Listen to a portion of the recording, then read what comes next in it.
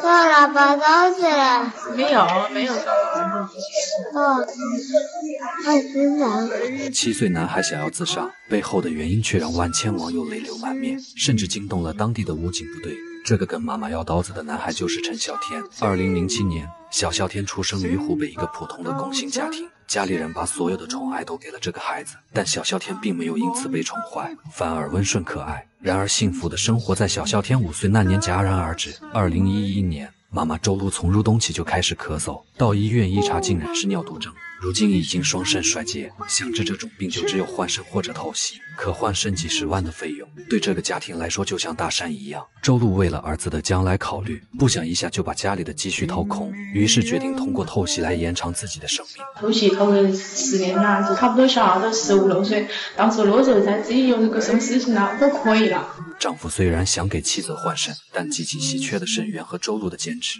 让他不得不尊重妻子的选择。于是周璐开始了每周三次的透析治疗，但治疗过程并不顺利。周路的血管由于太细，别人一个小时就能做完的透析，他需要四个小时。无奈之下，医生只好在周路的心脏上扎了一根导管，从心脏直接抽血做透析。从此以后，周路的身体素质变得很差，再也不能干重活。可想到这样能陪着儿子长大，周路毫无怨言。不过老天却并不打算就此收手。半年之后，奶奶细心的发现小啸天在走路时总是不受控制的前倾，于是马上带着孙子来到医院检查，结果显示小啸天脑部患上了一种恶性肿瘤。得这种病的孩子一开始会逐渐失去平衡感，后面就会逐渐失去视力和行动能力，直至失去生命。而这一过程演变之快，可能还不到一个月，家人们来不及悲伤。马上就按照医生的安排进行了手术，手术很顺利，一家人心里的石头也落了地。然而不幸的是，两年后小孝天的肿瘤再次复发，癌细胞的扩散让医生都束手无策，他们只能告诉家属，孩子剩下的生命最长不超过一年。这个消息让周露如遭五雷轰顶，本来她还抱着希望，只要儿子长大，她这一生就算圆满。可现在一切都破灭了。妈妈，了把刀子了，做。太吃了。七岁男孩身患绝症，奶奶却劝说孙子把肾捐给母亲。原来孩子的母亲身患尿毒症，为了把钱留给儿子，母亲周露放弃了昂贵的换肾手术，只选择透析来延长自己的生命。可就当她把所有希望都寄托在儿子身上时，儿子陈孝天却被查出恶性脑瘤。我的小孩子的生命还要多长时间是吧？我估计都是两三个月了。由于癌细胞扩散的很快，小孝天的眼睛受肿瘤压迫，很快就彻底看不见了。失明的那天，小孝天虽然哭闹了很久，但他也很快接受了这个现实。不过这也使得小孝天对妈妈的依赖与日俱增。周露平时对儿子也是寸步不离，可他每周还要定期接受肾透析。每当母亲不在身边的时候，小孝天就会感到强烈的不安。妈妈，妈妈在透析，在治病，也快好起来好了。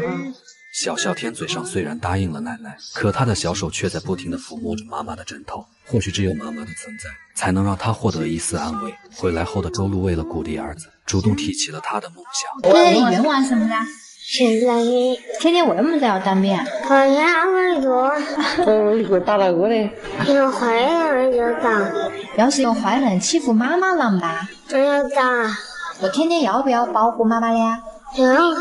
尽管自己的身体已经极度虚弱，小孝天心里想的仍是保护自己的妈妈。看着虚弱的孙子和同样在历经病痛的儿媳，小孝天的奶奶也很痛苦。她不知道如果这个家同时失去两个人该怎么办。这时奶奶突然想到一个主意，不知道孙子的肾能不能移植给儿媳。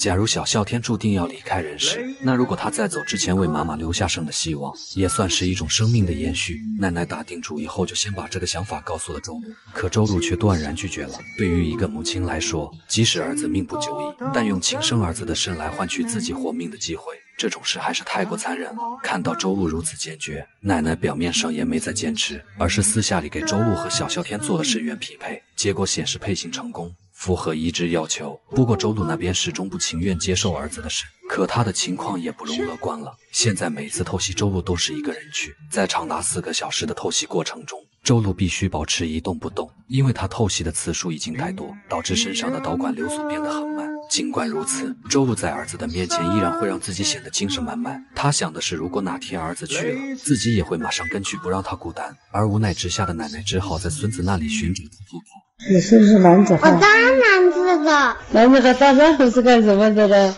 嗯，保护妈妈，她生病了，我也要救他。七岁男孩身患绝症，奶奶却劝说孙子把肾捐给母亲。原来孩子的母亲身患尿毒症，为了把钱留给儿子，母亲周露放弃了昂贵的换肾手术，只选择透析来延长自己的生命。可就当他把所有希望都寄托在儿子身上时，儿子陈啸天却被查出恶性脑瘤。我的小孩子的生命还要多长时间是吧？我估计都是两三个月了。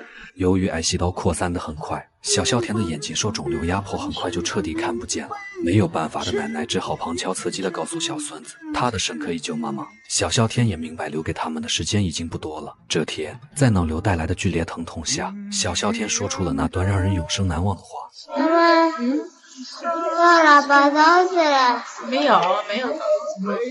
哦爱吃糖。这些话彻底击溃了周露的心理防线。如果儿子的生命已经注定无法挽留，那么换种方式让儿子的生命延续下去，也算是一点安慰吧。这时，有很多人也知道了小小天捐肾救母的故事，他们被小小天的坚强孝顺感动，纷纷赶来医院看望，还组织了捐款，希望能有奇迹出现。小啸天的老师也带着同学们来到了病房，开始朗诵他以前最喜欢的课文。小啸天也情不自禁地加入了朗读。一只船扬白帆，飘呀飘呀到台湾，接来台湾小朋友到我学校玩一玩。得知小啸天的愿望是成名一名军人后，湖北荆州市武警支队也特意赶来了。他们先给小啸天戴上了一顶军帽，然后又为他举办了一个特别的参军仪式。入伍宣誓，我是中国人民解放军军人，我宣誓服从中国共产党的领导，全心全意为人民服务，服从命令，严守纪律。